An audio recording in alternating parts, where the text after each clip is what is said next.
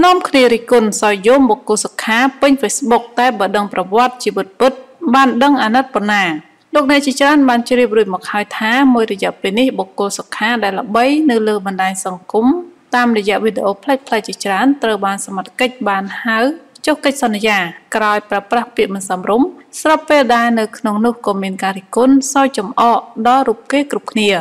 ហើយជាស្ដែងមុននេះបន្តិចលោកអឹមជីវ៉ាបានស្កាត់ទៅជួបដល់ផ្ទះរបស់ បុគ្គលរូបនេះដោយបានធ្វើការរៀបរាប់ពីជីវិតពិតរបស់គាត់ដោយធ្វើឲ្យមហាជនជាច្រើនពិតជាមានភាពក្តុកក្តួលតែម្ដងដោយក្នុងនោះលោកបានធ្វើការរៀបរាប់យ៉ាងដូចនេះថា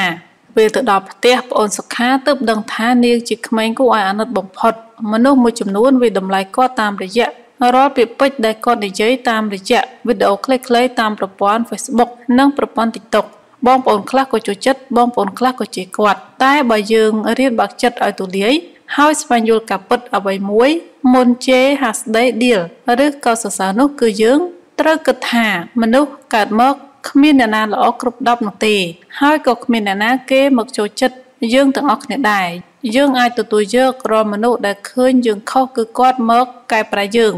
ឬយើងកែប្រែគាត់ទៅជាការប្រសើរជាពិសេសជួយប្រើពាក្យពេចន៍ជួយកែបង្រៀនព្រៀនប្រដៅគាត់ណែនាំឲ្យគាត់ដើរផ្លូវណាល្អទៅប្រសើរខ្ញុំបាទបានធ្វើដំណើរ មកខេត្តត្បូងឃ្មុំនិងកំពង់ចាមរយៈពេល2ថ្ងៃ ហើយក៏បានធ្វើដំណើរមកដល់ភូមិជ្រួយ សង្កាត់វិហារលួងក្រុងសួងខេត្តត្បូងឃ្មុំគឺជាកន្លែងដែលប្អូនសុខារស់នៅ សុខាឈ្មោះពិតគឺថនសុខាមានអាយុ25ឆ្នាំ មានបងប្អូន5នាក់សុខាជាកូនពៅសុខាគឺជាក្មេងកំព្រាឪពុកម្ដាយតាំងពីតូចហើយសុខាត្រូវមករស់នៅជាមួយមីងនៅក្រុងសួង ដោយជួយលក់ដូរមុខរបរលក់ចាប់ហួយតិចតួចនៅផ្ទះ សុខាជាក្មេងស្រីមានអត្តចរិតមនុស្សប្រុសហើយស្រឡាញ់ស្រីដូចគ្នាអត្តចរិតរបស់សុខា ជាមនុស្សប្រុសគឺមានតាំងពីតូចមិនអាចកែបានចរិតជាប្រុសខ្លួនជាស្រីបានឡើយសុខាគាត់សិក្សាបានតិចតួចណាស់ហើយជាក្មេងកំព្រាដែលខ្វះភាពកក់ក្ដៅបន្ទាប់ពីស្ដាប់ប្រវត្តិខ្លះខ្លះសង្ឃឹមថាពុកម៉ែបងប្អូន មេត្តាបើចូលចិត្តឬមិនចូលចិត្តគាត់ជួយកែប្រែណែនាំដំបូន្មានល្អឲ្យគាត់ផងដោយក្តីគោរពអឹមជីវ៉ារុងរឿង ចានេះគឺជាការលើកឡើងរបស់លោកអ៊ំជីវ៉ាគាត់បានលើកឡើងតាក់ទងទៅនឹងប្រវត្តិខ្លះខ្លះរបស់សុខាដែលជាតារា TikTok ដែលកំពុងតែមានឈ្មោះបោះសម្លេងហើយក៏មានអ្នកខ្លះចូលចិត្តគាត់និងអ្នកខ្លះមិនចូលចិត្តគាត់អញ្ចឹងទៅហើយបើតាមការឲ្យដឹងពីលោកអ៊ំជីវ៉ាថាសុខានេះគាត់ជាក្មេងកំព្រាឪពុកម្ដាយដោយគាត់រស់នៅជាមួយនឹងម្ដាយមីងនៅឯខាងក្រុងសួងនេះចាហើយចំពោះលោកអ្នកវិញតើយល់យ៉ាងណាដែរចំពោះអត្ថបទតកតងទៅនឹង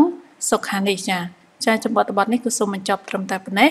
ហើយនឹងសូមបន្តជូនអត្ថបទទី2គឺតកតងទៅនឹងនេះជាជីវិតកាឆយនៅក្រៅសិល្បៈពិតជាមានសេចក្តីសុខជាមួយនឹងស្វាមីខ្លាំងមិនចាញ់ក្មេងៗនោះទេដោយដែលប្រិមិត្តច្បាស់ជាស្គាល់រួចមកហើយតារាកំ pl ែងជើងចាស់អ្នកនាងកាឆយជាតារាកំ pl ែងមួយរូបដែលប្រឡូកនៅក្នុងវិស័យសិល្បៈជាច្រើនឆ្នាំមកហើយម្យ៉ាងវិញទៀតអ្នកនាងថែមទាំងទទួលបានការកោតសរសើរនិងគាំទ្រយ៉ាងខ្លាំង ទៅលើសមត្ថភាពព្រមទាំងវោហារស័ព្ទចាក់ទឹកមិនលិចដែលបានផ្ដល់ភាពសប្បាយរីករាយដល់ទស្សនិកជនជាច្រើនផងដែរដោយឡែកបើងាកមកមើលពីជីវិតក្រៅសិល្បៈរបស់តារាកំ pl ែងរូបនេះវិញឃើញថាកាន់តែមានសុភមង្គលយ៉ាងខ្លាំងនៅក្នុងក្រុមគ្រួសារជាពិសេសអ្នកនាងតែងតែបានបង្ហាញអំពីសកម្មភាពដ៏ផ្អែមល្ហែមជាមួយនឹងស្វាមីរបស់អ្នកនាងតែម្ដង ថ្មីថ្មីនេះអ្នកនាងកឆយក៏បានបង្ហោះរូបភាពប៉ុន្មានសន្លឹកជាមួយនឹងស្វាមីរបស់ខ្លួននៅក្នុងបណ្ដាញសង្គម Facebook ដែលធ្វើឲ្យមហាជនជាច្រើនកាន់តែសរសើរព្រោះបានបង្ហាញពីភាពកក់ក្ដៅនិងសេចក្តីស្រឡាញ់ចំពោះគ្នាទៅវិញទៅមកដែលបានធ្វើឲ្យក្មេងៗជាច្រើនលួចច្រណែននឹងប្តីប្រពន្ធអ្នកទាំងពីរផងដែរចាហើយចំពោះអត្ថបទទាំងពីរនេះខ្ញុំក៏សូមបញ្ចប់ត្រឹមតែប៉ុណ្ណេះសូមអរគុណសូមជម្រាបលា